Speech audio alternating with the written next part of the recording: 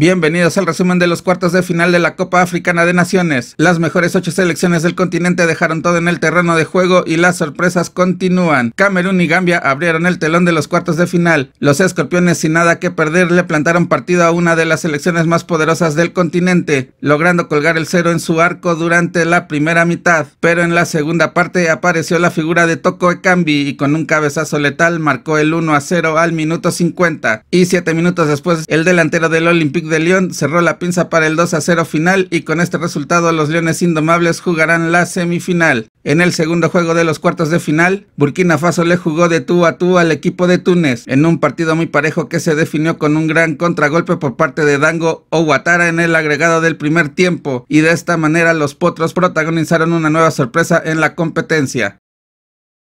En el duelo más esperado de los cuartos de final, Egipto y Marruecos no defraudaron y muy temprano en el encuentro falta sobre Hakimi dentro del área y Boufal con un golazo de penal al minuto 6 adelantó a Marruecos. Para el segundo tiempo, Egipto adelantó filas y al minuto 53, Salah después de un rebote empujó el balón a la red para el 1 a 1 final. Después de 90 minutos y en un juego donde el dominio de ambos cuadros fue por momentos alterno, no fue sino hasta el minuto 100 del agregado donde Salah mandó una diagonal y Trezeguet llegó a cerrar la pinza para mandar a los faraones a la semifinal.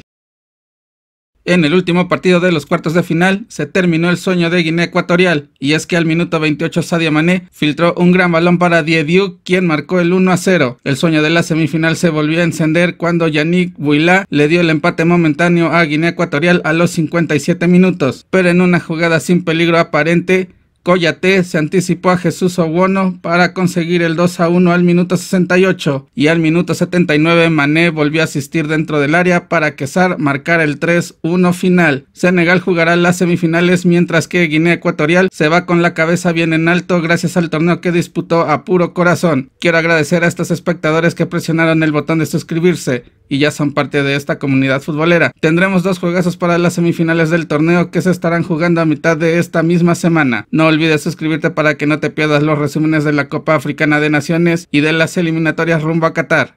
Hasta el próximo video.